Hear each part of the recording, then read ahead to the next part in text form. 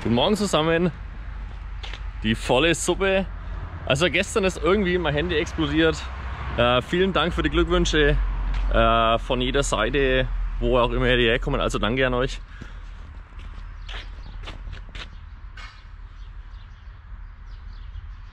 Schon eine coole Stimmung irgendwie. Aber zur Stimmung, die Stimmung bei den Bauern ist recht aufgeladen.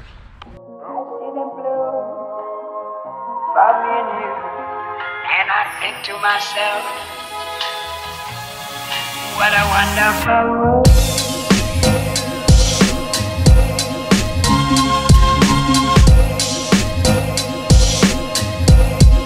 What a wonderful world.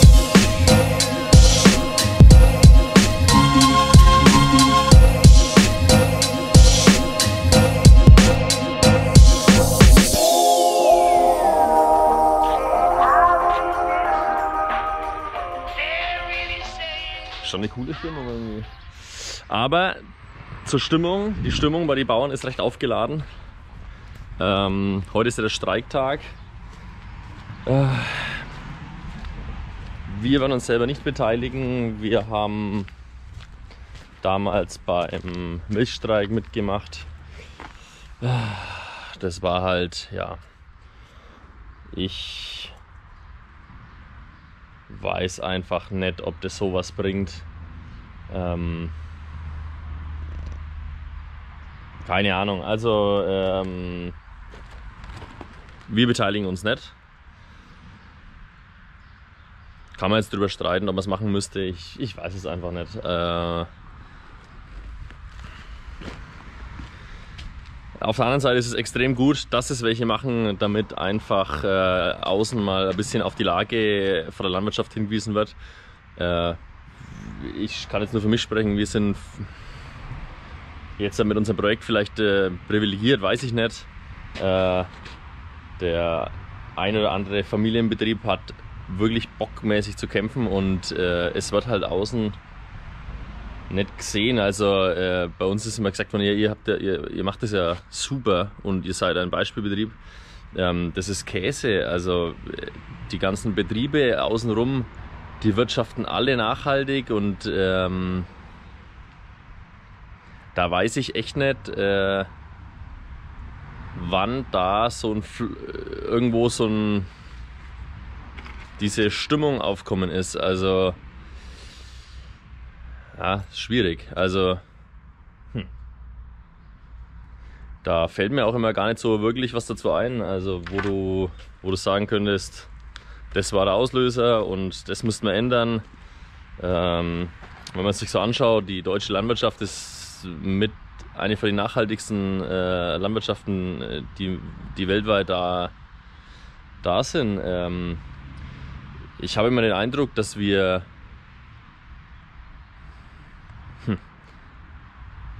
dass es den Deutschen einfach manchmal ein bisschen zu gut geht. Also das ist mein, mein großer Eindruck. Also wir machen uns da Gedanken.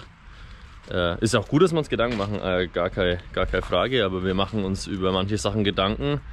Äh, andere sind froh, wenn sie, wenn sie das zum Essen hätten, was wir wegschmeißen. Also vielleicht äh, wacht mal bei der Demo heute der ein oder andere auf, weiß ich nicht.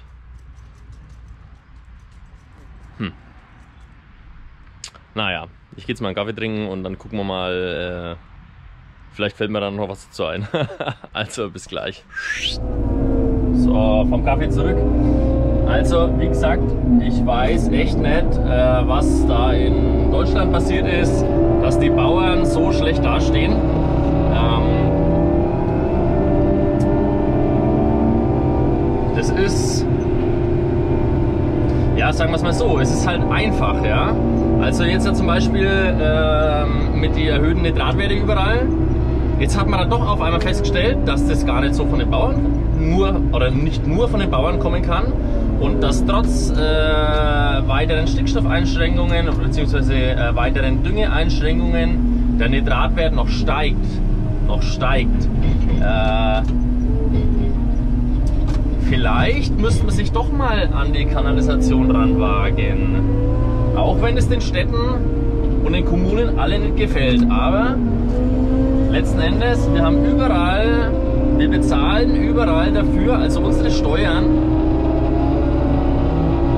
und unsere Abwassergebühren sind ja dafür da, dieses öffentliche Netz zu unterhalten. Oder zum Teil dazu da, das Netz zu unterhalten. Also wäre vielleicht mal wirklich zum Überlegen, dass man rangeht. Also wenn ihr mal schaut, was äh, bei Fahrsilo-Anlagen und sowas eingehalten werden muss. Und man weiß ja, dass die, die alten Kanäle äh, zu einem nicht unerheblichen Teil undicht sind. Also da weiß ich nicht, wie, wie das die komplette Landwirtschaft auffangen soll. Den Scheiß von 80 Millionen Bundesbürgern. Also es ist äh, ja schwierig. Was will ich da viel dazu sagen? Also das muss man einfach sagen lassen. Ähm, und mal richtig drüber nachdenken. Vielleicht müsste man dann auch das äh, Geld manchmal nicht so äh, im Staat äh, dumm verblödeln, sondern man könnte es effektiv dazu einsetzen. Und klar ist es nicht spaßig, wenn überall die Straßen aufgerissen werden, aber da muss halt mal ein bisschen mit äh, Gas agiert werden. Wir können auch nicht drei Jahre irgendeine Baustelle machen. Weil da wären wir dann pleite, wenn wir drei Jahre Baustelle machen. Also muss halt mal mehr ein bisschen mit Gas agiert werden. Und vielleicht die sinnvolleren Sachen vorgezogen werden. Tja. Das wollen wir wohl so schnell nicht ändern. Das ist das Problem. Aber jetzt mal noch zu den Sündenböcken nochmal zurückzukommen. Ähm, vorhin, schon gesagt, viele sagen mal, wir, haben, wir sind so ein äh, Musterbeispiel äh, für einen landwirtschaftlichen Betrieb. Schaut euch mal die Betriebe draußen um. Es kann nicht sein, dass, äh, dass äh, nur ein paar weiße Schafe da sind und nur schwarze. Es ist genau andersrum. Es sind extrem viele Bauern da. Eigentlich sind es fast alle, die sauber und anständig wirtschaften, nachhaltig wirtschaften. Und es sind ein paar, die es halt nicht machen. Und das fällt auf die ganze Branche zurück. Und das kann einfach nicht sein. Ähm, nur so zur Überlegung, also wir in der Landwirtschaft äh, produzieren Lebensmittel, ja, und man darf nicht davon ausgehen, dass äh, wir da irgendwo äh, einen Bürger vergiften wollen. Warum? Verstehe ich nicht. Also wir äh, konsumieren die ganzen Sachen, die wir produzieren und die wir handeln auch selber. Also kurze Überlegung würde da ausreichen. so. Ich glaube, ich wiederhole mich schon. Naja, egal. Also, jetzt machen wir auf jeden Fall noch Futter. Dann geht's auf der Baustelle heute wieder mit Riesenschritten voran. Hoffen wir Riesenschritten. Also, für unseren Heizerer sind die Rohre aktuell so groß. ah, das ist echt strange. Aber es macht echt Spaß, das wachsen zu sehen, muss ich echt sagen, das ist cool. Genau. So, dann bis gleich. So, wir haben den Begleitkorso. Unser Hund ist nämlich etwas groß geraten schon. äh, der passt nimmer auf den Schlepper rauf. Der Bernd, unser Fahrer, sagt immer, kauf dir einen gescheiten Schlepper, wo der Hund drauf passt, aber nee.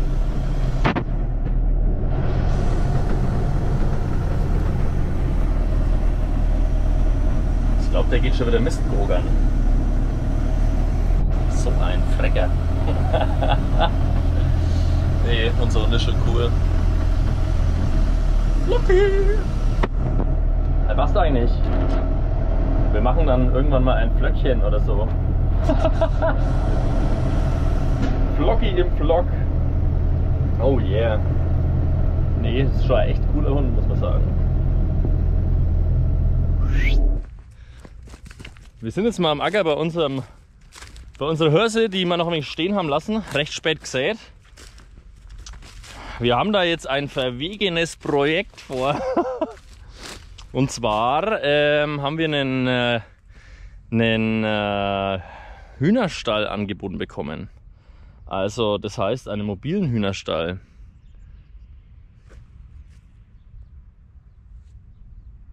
Hier einzäunen. Das wäre eigentlich gar nicht so schlecht, oder? Vor allem hätten äh, die Hennen dann für die Greifvögel oder vor den Greifvögeln schon ein bisschen Schutz. Hätten die ganze Zeit was zum Ziehen.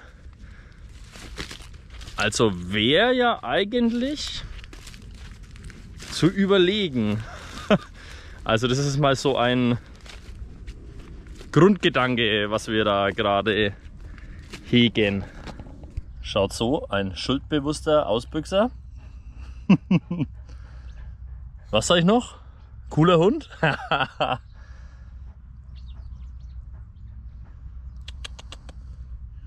Nicht mehr ins Sudangras. Sollen die Hennen rein und nicht der Hund. Ne?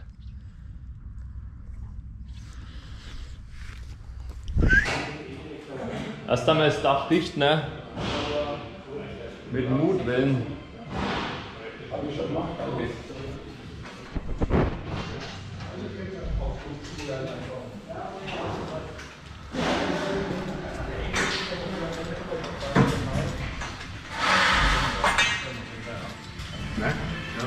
Dann denke ich,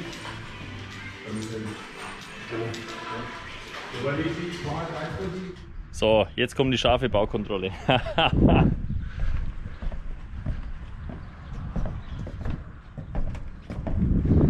Müssen wir mal gucken, was die da fabrizieren.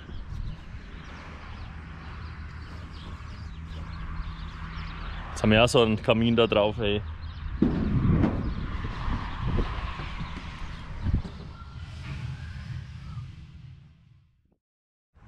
Wir sind jetzt bockspät heimgekommen. Wir waren jetzt gerade äh, Hühnermobil anschauen. ich zeige euch mal was. Ist das nicht mega? Das ist die Küche für unsere Mitarbeiter. Und was noch? Was noch? Was noch? Was noch? Pass auf.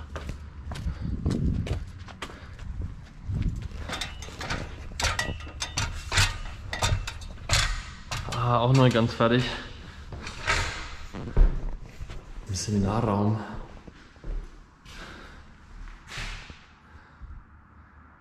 Ist das nicht mega?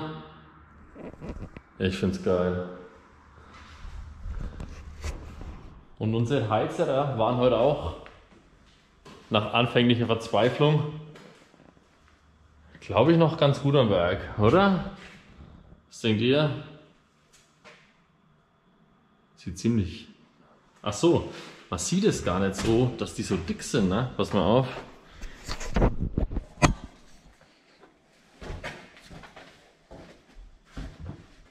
Die sind schon dick. Und massiv geht auch. Also man kann es ja draufstellen. Also der Hans wird die nächsten drei, vier Tage noch verzweifeln. die müssen auch noch drauf. Das wird noch spaßig. Naja. Aber ich glaube, er hat das ganz sauber gemacht, oder? So. Ich glaube, ich habe jetzt schon das fünfte Mal Unglück durch die Leiter durch, ne? Ach ja.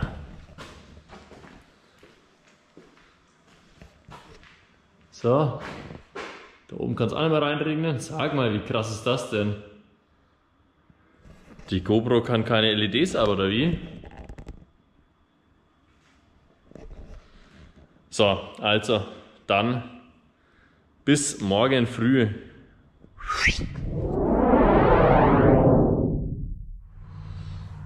Das ist die frühmorgendliche Begrüßung.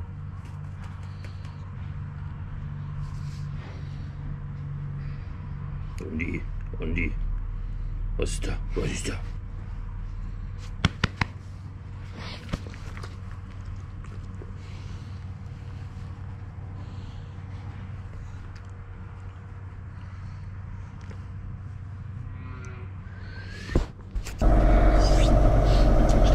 Waren ja gestern Abend oder gestern am Nachmittag unterwegs, äh, haben noch ein Hühnermobil angeschaut, das wir uns wahrscheinlich holen werden. Äh, ist halt gebrauchtes. für 700 Hennen. Jetzt muss ich erst mal noch klären, was wir da machen müssen, weil Deutschland ist ja so immer nicht ganz einfach mit äh, Gesetze und mobil brauchen wir eigentlich keine Genehmigung. Aber so Teilmobil vielleicht schon und weiß was ich mehr, also ich schreibe auch dem Papst noch, äh, ob wir die Hälfte taufen müssen, das weiß ich noch nicht. Nee, Schmarrn, aber man muss einfach ein paar äh, Amtsstellen einfach befragen, ob die, beziehungsweise äh, ob es vielleicht auch mit Bescheid reicht, also dass man einfach einen 13er reinschreiben, äh, wir sind jetzt unter die Mobilstallbetreiber gegangen, dann würde ich schon sehen, äh, dass sie wieder, oh Herr Bauer, warum machen Sie das? Aber nee, also wir müssen es einfach erfragen, äh, was wir da dürfen, was wir nicht dürfen und ja, auf jeden Fall hatten wir auf der Fahrt wieder äh, genug Zeit, äh, die Welt zu verbessern. Aber zumindest Ursachenforschung zu betreiben. Ähm, und Steffi hat dann äh, noch äh, gestern gemeint, naja, ein großer Grund ist, warum man die Kanäle angeht, Politiker wollen wiedergewählt werden. Und letzten Endes, der Kanal muss ja von allen bezahlt werden. Insofern ist es ja viel einfacher, zu den Bauern zu sagen, passt auf, ihr seid die Verursacher vom Nitratproblem. Äh, kriegt ihr das mal in den Griff? Ob unsere Kanäle auslaufen, das ist eigentlich mal scheißegal. Nee, so sagen wird es keiner. Aber es ist halt leider einfach mal so. Das zeigen ja auch unabhängige Studien, ja.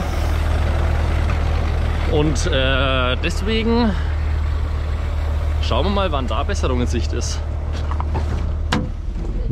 So, ich glaube, jetzt funktioniert es wieder nicht, ne? So. Wir haben es der GoPro beigebracht, sich zu drehen. Jetzt weiß ich auch nicht mehr, wo wir stehen geblieben sind. Ach ja, ähm, ja, drum wurde es wahrscheinlich eher schwierig, eine schwierige Diskussion, wer für Nitrat verantwortlich ist. Ähm, ja, ich vergleiche das immer. Äh, mit dem, äh, wenn der Betrunkene äh, unter der Laterne seinen Schlüssel sucht und der Polizist kommt vorbei und sagt, ähm, ja, was machen Sie da? Ja, ich suche meinen Schlüssel. Und dann fragt er, wo haben Sie den denn verloren? Ja, eigentlich da drüben, aber hier ist es heller. Und genau so, und genau so kommt mir das immer vor. Das ist eigentlich eine Lachnummer. Ähm, ja. So. Schnell schon wieder. Schätzchen. Juhu, bis dann. So, wir müssen jetzt mal überzeugend wirken. Und zwar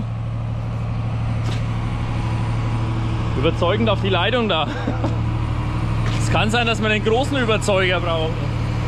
Also die muss irgendwie darüber. Mal gucken.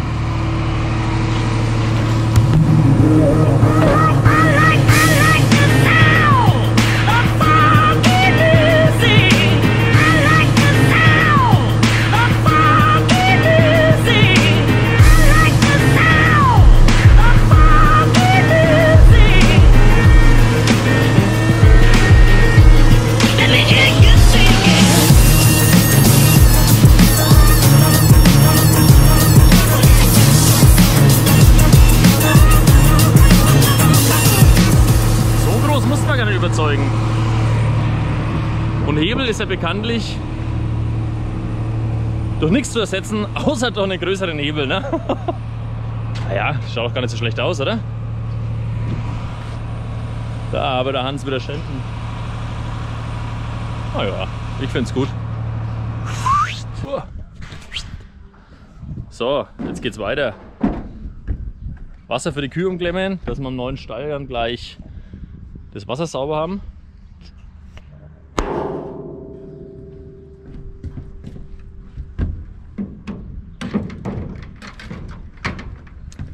Eine Behelfsleitung umklemmen zur nächsten Behelfsleitung.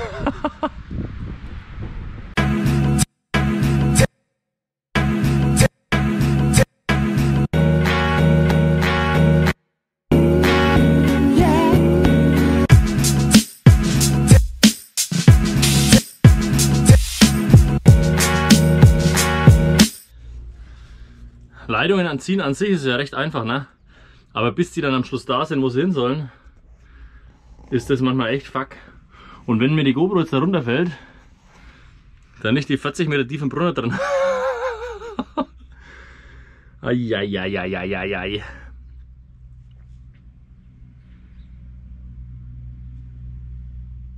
Irgendwann sollte man es am Profi machen lassen, ne?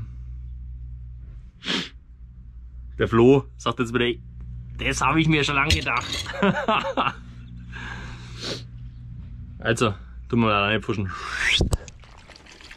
Ich höre Gluck an. Ich habe schon wieder Angst, dass sie dann schon wieder umziehen darf. Mai. Warum mache eigentlich ich diese ganzen? Ich meine, da ist bloß Wasser, da ist nicht so schlimm. Aber irgendwie mache ich immer die Drecksjobs.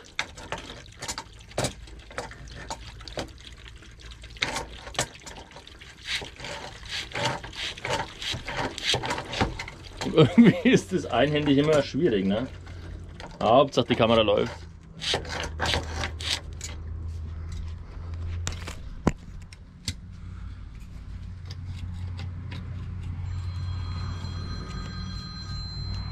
Ohne Sauerei. Danke, tschüss. Yeah. Jetzt kommen unsere Waschbecken. Dann kann der Hans weitermachen. Langsam wird's doch. Langsam sieht man auch, was es wird. Aber wirklich nur langsam.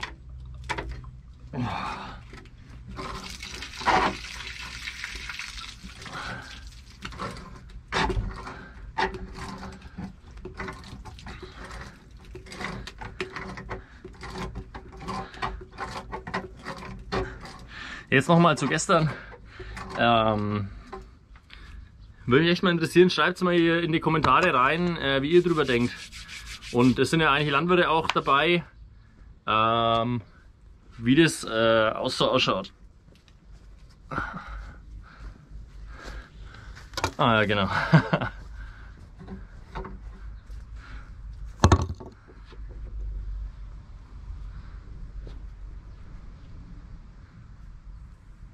Also schreibt es mal unten in die Kommentare rein, was ihr so über gestern denkt. Würde mich echt interessieren.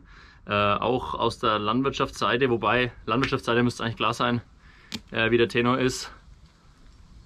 Äh, an die anderen, schreibt es einfach mal unten rein, würde mich echt interessieren. Also heute Bock stressig. Äh, ständig irgendwas anderes. Eigentlich bringe ich gar nichts zusammen. Ich glaube, ich habe nicht einmal die eine Wasserleitung ganz zusammengekriegt. Klar, Teile haben noch gefehlt, aber es ist ständig irgendwas anders. Äh, ja, naja. Also, äh, dann. Heute gibt es nichts mehr. Heute habe ich keine Lust mehr. nichts geht voran. Bagger tropft. Lauter Scheiß. Naja. Aber morgen ist dann wohl anders.